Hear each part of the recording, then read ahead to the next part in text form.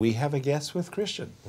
We are indeed with a lady that won her third consecutive uh, game. Congratulations, uh, Jennifer. Welcome back. Take us through the feelings that you have right now. Um, thank you. So I honestly don't really know how to feel about my game. I, I think um, I was definitely pretty happy with my position out of the opening because I mean she kind of just gave me a pawn and it was like okay, so it's like a kind of like a playing for two results.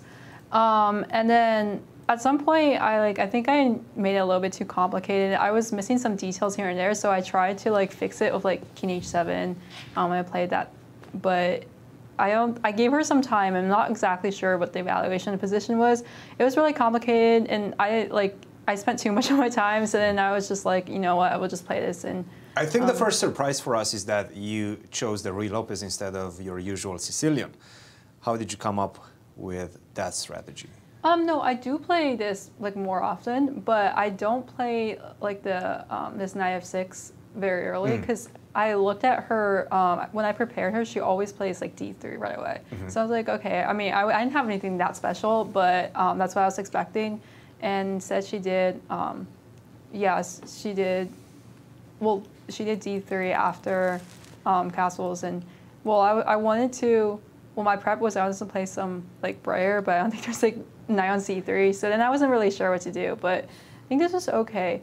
I also I don't know um, exactly the opening, but I thought like knight f4 instead of h3 might have been just like put like I like that better for white, but maybe it's just And the idea being that you go h3 now and you don't have any squares for the bishop. Yeah, because I was afraid of getting a um, bad bishop versus good knight, Right. And then she kind of um, made sure that didn't happen. So, which really was really nice for me. And she gave you this pawn with e5, but you took with the bishop, and now instead of taking with the knight, did you consider queen to e2 first? Yeah, that was my um, that was what I expected.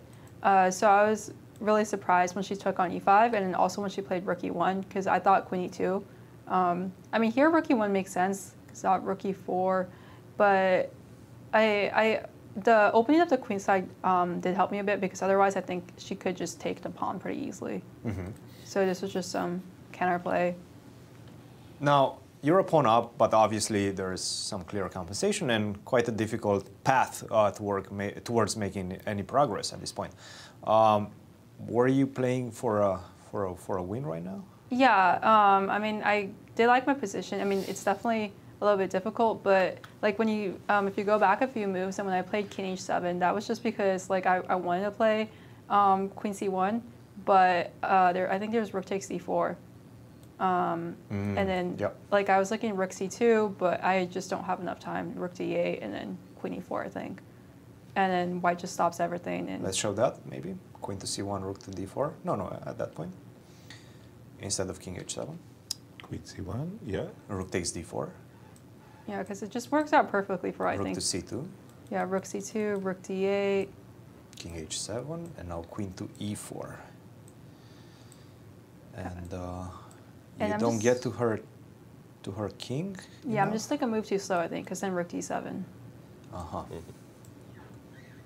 Yes, that looks very conclusive after rook d7. Nice calculation, and you decide to uh, prepare that with the move king to h7. Now, I want to take you to this uh, moment. Rook to b7, queen to c1, king to h6, so you repeat it once, and then with one minute on the clock, you play the move king to h6. Were you worried that she has something at Yeah. this point? And did you see anything? Um, I, I think I saw some things. Uh, well, even after she traded the rooks off, I think White is okay there. There should be some moves. Did you see this Um, move, Rook F7, right now? No, I wasn't expecting Rook F7. Does it? Yeah, what is happening? um, so uh, I guess the idea is uh, Rook.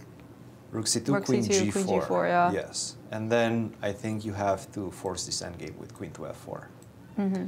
Queen to F4, which is still probably slightly better for you, but very much close to equality. Yeah, I mean that was kind of like a worst case scenario. If Queen G4 ever happened, I always have Queen F4.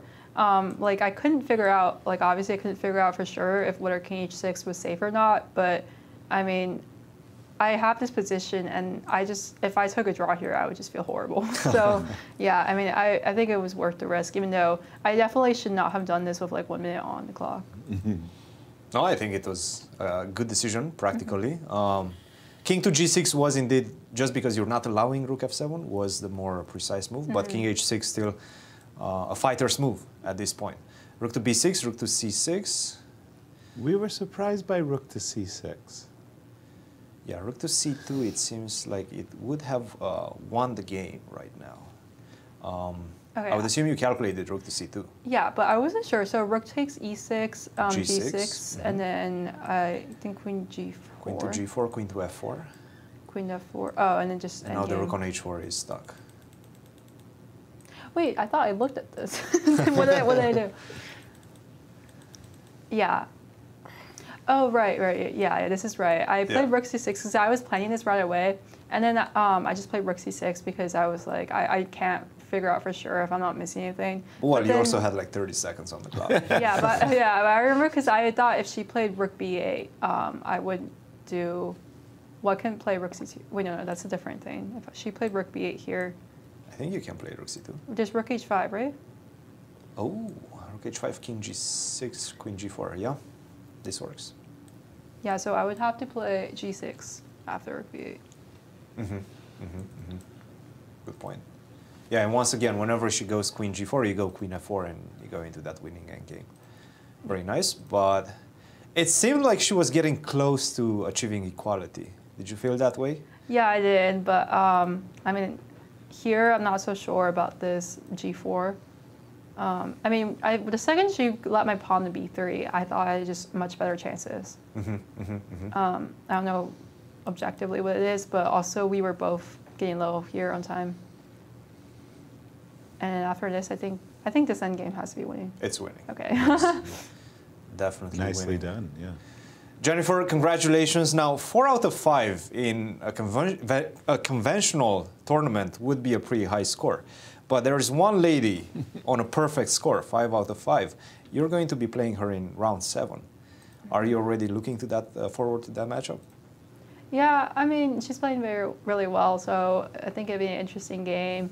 Um, but yeah, I mean I kind of believe in like like making your own luck. So like if I have a shot against her, then I have to take it.